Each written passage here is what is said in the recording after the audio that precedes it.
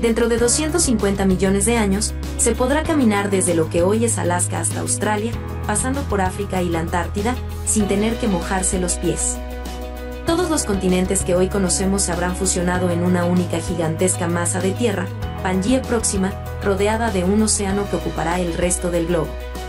Es lo que especula el geólogo Christopher Scotese, de la Universidad del Noroeste en Evanston, Estados Unidos, que lleva desde la década de los 80 desarrollando y refinando el proyecto Paleomap, un atlas de la historia de los continentes terrestres y de lo que les depara en un futuro hipotético.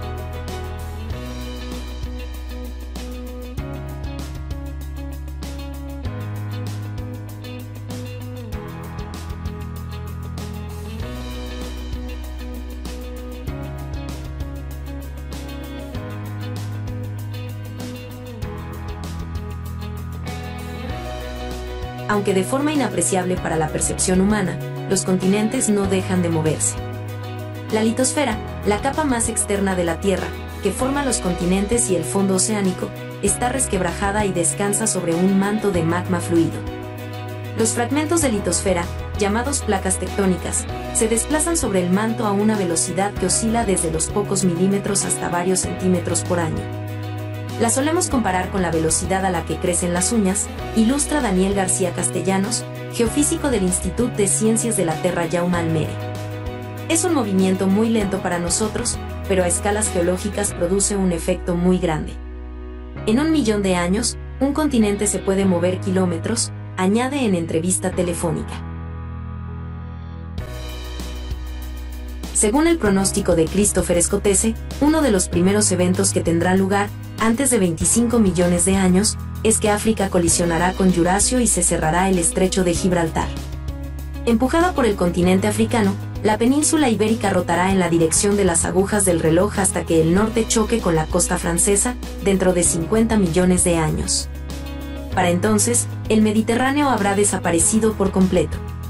Al encontrarse en una región con un clima muy seco, cuando se cierre el estrecho de Gibraltar, el Mediterráneo se evaporará en muy poco tiempo, añade García Castellanos, quien junto a su equipo demostró eso mismo ocurrió ya una vez, hace 6 millones de años.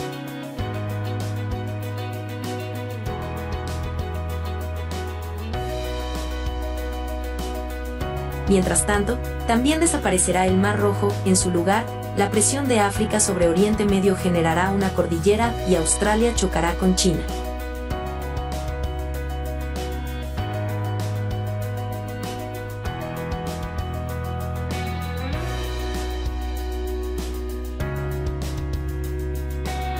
Dentro de 100 millones de años, la Antártida se romperá en dos.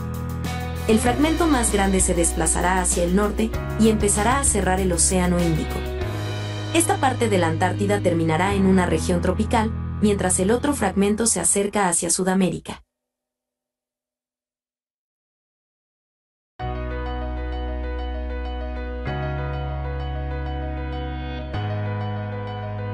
En 125 millones de años, el Atlántico alcanzará su punto de mayor extensión. A partir de entonces, América, África y Eurasio comenzarán a aproximarse de nuevo. Lo que hoy es Brasil chocará con el sur de África dentro de 225 millones de años.